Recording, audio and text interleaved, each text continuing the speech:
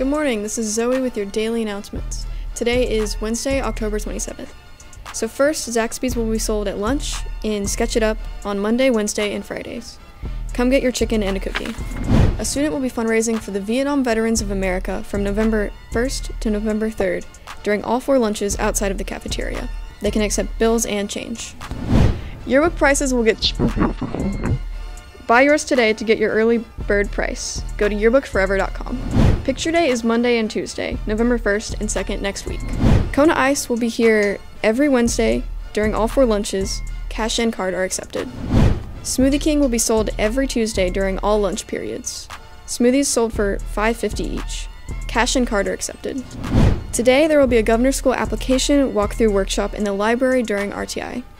Please bring applications you're planning to submit, and Miss Gregory will help you fill them out. The International Thespian Society will meet today during RTI to collect fundraising forms. Pizza Hut will be sold by the slice on Tuesday and Thursday in the bookstore. Cash and card are accepted.